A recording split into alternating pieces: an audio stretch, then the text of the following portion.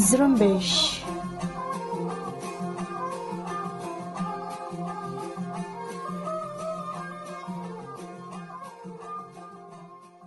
ये रेडियो जुम्बिश उर्दू की आवाज़ है। आज तीन नवंबर, मंगल का दिन और साल 2020 है। और आपकी मेजबान मेरा बलोच आपकी खिदमत में हाजिर है।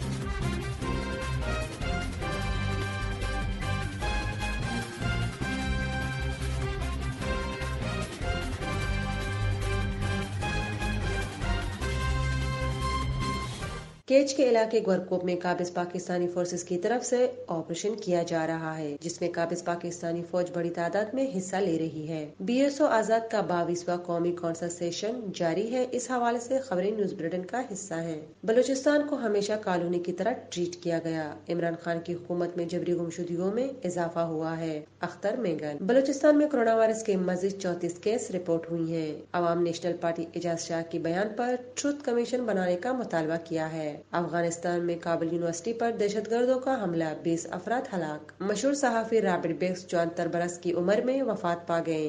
भारत कश्मीर में हिजबुल मुजाहिदीन का अहम कमांडर एक कार्रवाई में हलाक। ये थी चंद अहम खबरों की सुर्खियाँ। आइए न्यूज़ बुलेटिन में शामिल, बलूचिस्तान से मुतल खबरें सारे बलोच से सुनते हैं।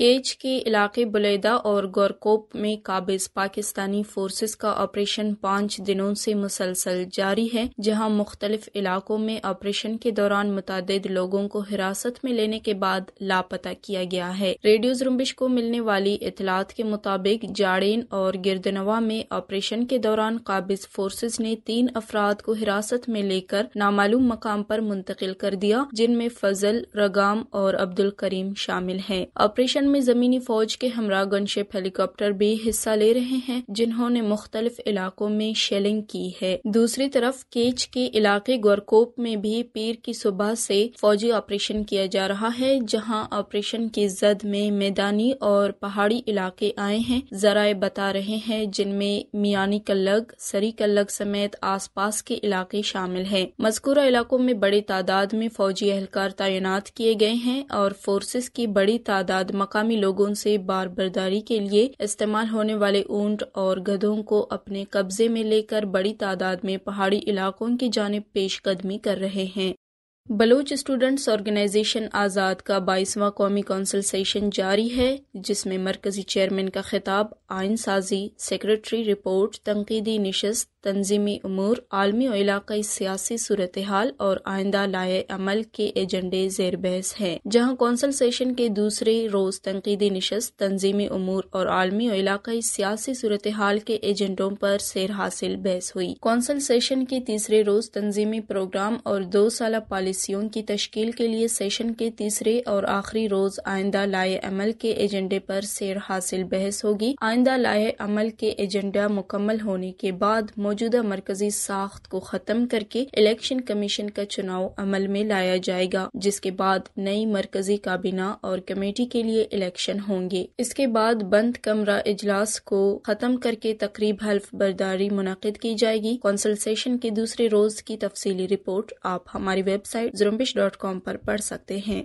समाजी कारकुन उमर करीम ने कहा है कि उनके वालदा आसिया बीबी को गुजशत दिनों मुसल अफराद ने तुम्प में ज़मीन के तनाज़े के दौरान उस वक्त कत्ल कर दिया था, जब वो फरीक़ें के माबेन सुलह के लिए गई थी। मगर मुसल अफराद ने बलोची रवायात पायमाल करते हुए गोलियाँ मार कर कत्ल कर दिया, जिसके कत्ल की एफ़ आई आर मकामी थाने में दर्ज कराई और मुलजमान की गिरफ्तारी का मुतालबा भी किया। लेकिन अफसोस से कहना पड़ता है की पुलिस और इंतजामिया अभी तक मुलजमान को पकड़ पकड़ने में कामयाब न हो सकी और न ही उनको गिरफ़्तार करने की कोई कोशिश कर रही है। दूसरी तरफ़ मुसल्ह मुलजमान अभी तक आज़ादी से दनाते फिर रहे हैं, जो इंतजामिया की नाकामी की वाज सबूत है।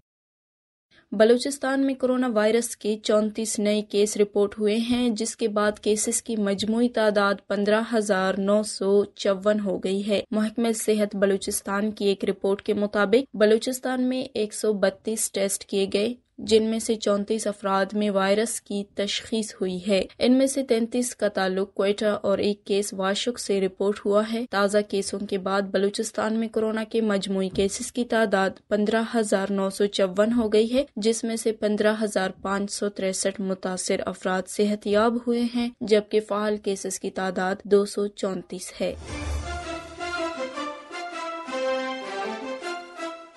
बलूचिस्तान नेशनल पार्टी के सरबरा अख्तर मेंगल ने एक निजी टीवी को इंटरव्यू देते हुए कहा है कि बलूचिस्तान की महरूमिया आज की नहीं, सत्तर सालों से है। पाकिस्तान में सत्तर सालों से हुक्मरानी करने वाले पंजाब के बगैर इकतदार पर नहीं आए और न ही आ सकेंगे। पार्लियामेंट के लिए मुंतखब होने वालों में अक्सरियत का ताल्लुक पंजाब से होता है। ये गिला कल भी था, आज भी है और अगर यही हालात रहे तो मुस्तबिल में भी ये गिला रहेगा। हम पंजाब को अपनी फरियादी सुनाते रहते हैं। ये पंजाब की आवाम की ज़िम्मेदारी है कि वो अपने हुक्मरानों से पूछे। सरदार अख्तर मेंगल ने कहा कि बदकिस्मती से बलूचिस्तान को एक यूनिट के बजाय एक कॉलोनी के तर्ज पर देखा गया है। इस कॉलोनी में मीडिया, इजहार राय, वोट देने पर पाबंदी आयद होती है। ये सिलसिला बलूचिस्तान में शुरू हो गया है, जो मुल्क के दीगर इलाकों तक भी पहुँच गया है। हम रोज अव्वल से कहते आ रहे हैं कि खुदारा हम पर रहम किया जाए। हमारी आवाज़ दबाई जा रही है। कल तक ये नौबत आप तक पहुँच सकती है।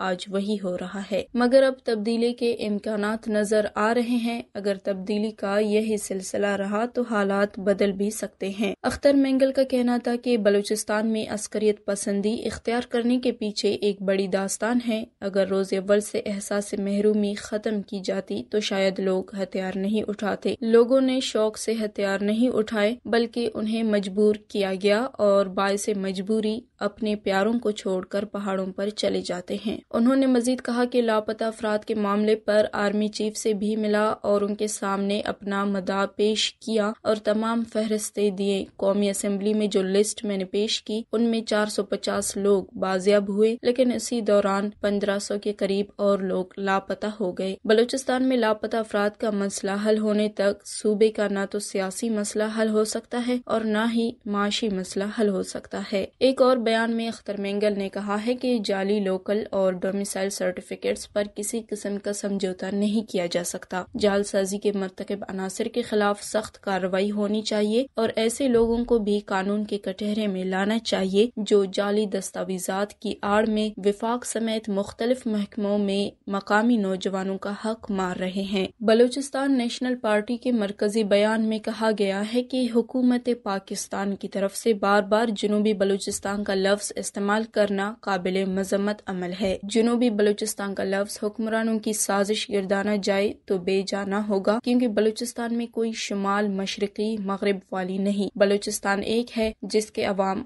हमारे लिए काबिल एहतराम है। लेकिन जिस तरह जजीरों पर आईलैंड ऑर्डिनेंस के ज़रिए कब्जा किया गया, उसके बाद जनूबी बलूचिस्तान की असलाह यकीनन किसी साजिश की कड़ी है, जिसे किसी भी सूरत कबूल नहीं किया जाएगा।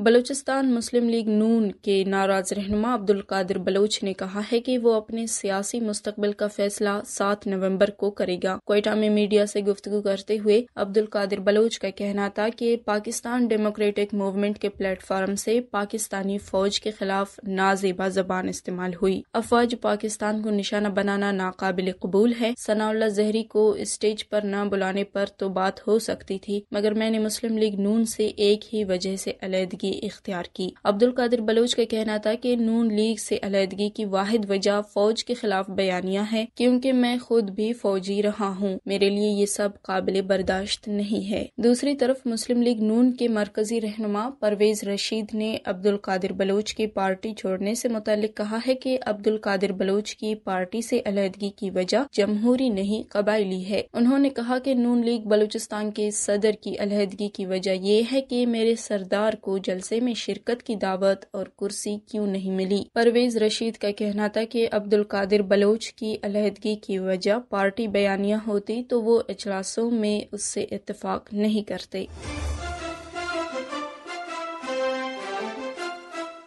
अब इलाके और आलमी खबरें पेश करेंगे। दोस्तन मुराद बलोच।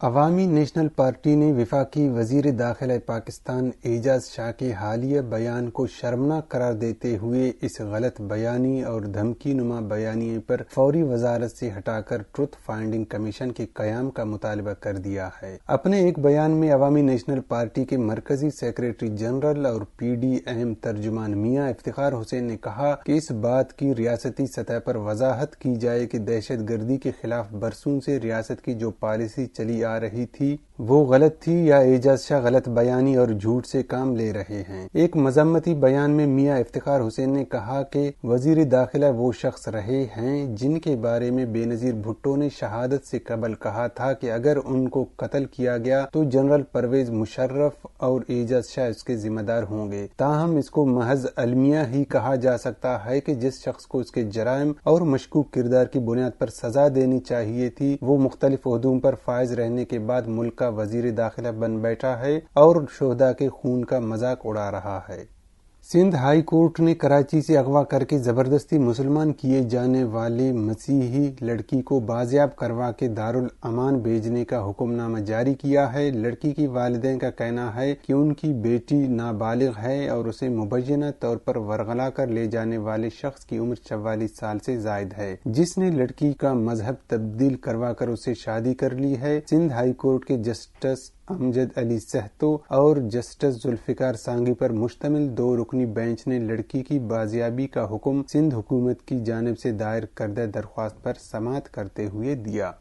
सिंध हुकूमत के तर्जुमान मुर्तजा वहाब ने पाकिस्तान के कौमी इदारा बरए अमराज कल्ब में कौमी एहतसाबी ब्यूरो के छापे पर रद्दमल देते हुए कहा है कि अगस्त 2018 में बनने वाले नए पाकिस्तान में इज़्ज़त एहतराम नाम की कोई चीज़ नहीं और इदारों की हरमत कुछ नहीं है। उन्होंने कहा कि ऐसे इकदाम आजकल के मुश्किल हालात में इंसानियत की खिदमत करने वालों की हौसला अफजाई करने वालों की हौसला शिकनी के मुतरद है और लोगों को अवाम की खिदमत की तरफ़ मदू करना इमरान खान हुकूमत की तरजीह नहीं।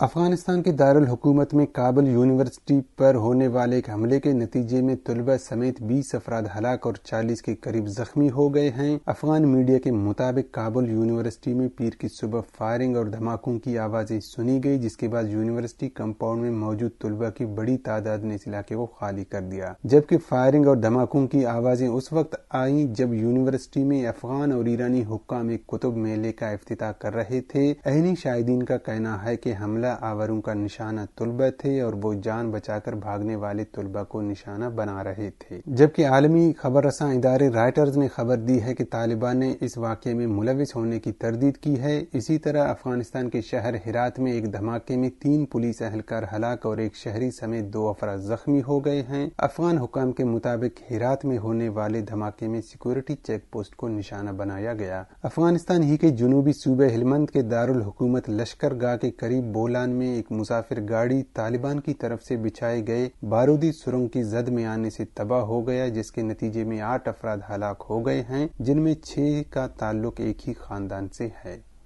ईरानी हुक्काम ने हिजब इख्तलाफ की एक अरब रहनुमाओं को तुर्की से गिरफ़्तार करके तेहरान मुंतकिल कर दिया है। दूसरी तरफ़ ईरानी अरबों की अलायदगी पसंद ग्रुप अरब जिद्दोजहद तहरीक बरए आज़ादी अहवाज ने एक बयान में ईरानी निज़ाम पर अपने सबक लीडर हबीब शाब अलमारूफ हबीब अल सवेद के अगवा का इल्ज़ाम आयद किया है और कहा है कि उसके कारिंदू ने उन्हें तुर्की से बहला फिसला कर अगवा किया है। दूसरी तरफ़ ईरान की कौमी सलामती और खारजा पॉलिसी कमेटी के सरबरा मुशतबा नूर ने कहा है कि अब हबीब शॉब से तेहरान में सिक्योरिटी और इंटेलिजेंस हुकाम तहकीकात कर रहे हैं।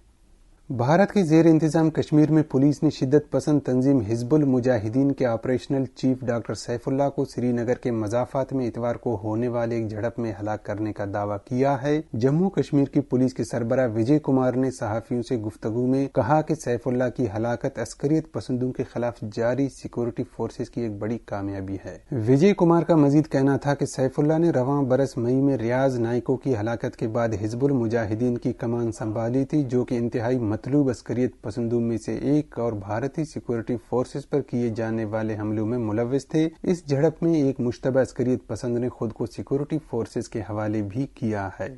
मशरकी वस्ती की रिपोर्टिंग के हवाले से मशहूर नामवर आयरिश सहाफ़ी रॉबर्ट फिस्क चौहत्तर साल की उम्र में वफात पा गए हैं। रॉबर्ट फिस्क ने मुख्तलिफ़ इदारों से वाबस्ता रहते हुए मशरकी वस्ती की रिपोर्टिंग की। उन्होंने अपनी सबसे पहली नौकरी उन्नीस सौ छिहत्तर में शुरू की, जब वो दी टाइम्स के नुमाइंदे के तौर पर बैरूत आए। उनके बैरूत में क्याम के दौरान उन्हें लबनान की खाना जंगी पर रिपोर्टिंग का मौका मिला, जिसके बाद उन्होंने एक किताब की शक्ल में वो शाये किया। फिस्क को उनकी बेहतरीन रिपोर्टिंग की वजह से बैरूनी मुल्क बेहतरीन सहाफ़ी होने का प्रेस अवार्ड सात बार दिया गया।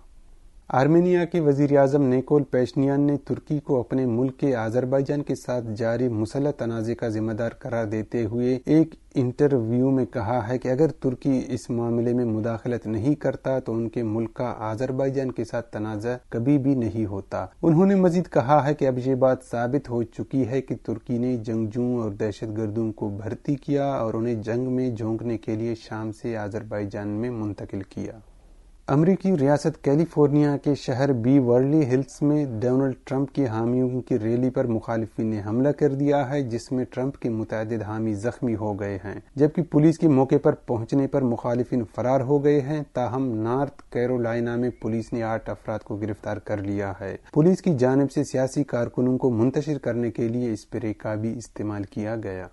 पुर्तगाल के स्टार फुटबॉलर क्रिस्टियानो रोनाल्डो का तकरीबन तीन हफ्तों के बाद कोरोना वायरस टेस्ट मनफी आया है और वो 19 रोज बाद कोरोना वायरस से सेहतयाब हो गए हैं। याद रहे कि क्रिस्टियानो रोनाल्डो का 13 अक्टूबर को कोरोना वायरस का टेस्ट मस्बत आया था। अतालवी चैंपियंस यूवेंटस फुटबॉल क्लब ने कहा है कि रोनाल्डो का कोविड उन्नीस तशखीसी टेस्ट किया गया, जिसका नतीजा मनफी आया। क्लब के मुताबिक रोनाल्डो उन्नीस दिन के बाद सेहतयाब हो गए हैं और अब उन्हें होम आइसोलेशन की ज़रूरत नहीं है। इसी के साथ ही आज की न्यूज़ बुलेटिन का अख्ताम होता है। अपनी मेजबान हमीरा बलोच को इजाज़त दीजिए और मजीद खबरों के लिए विज़िट करते रहे हमारे वेबसाइट जुरम्बिश डॉट कॉम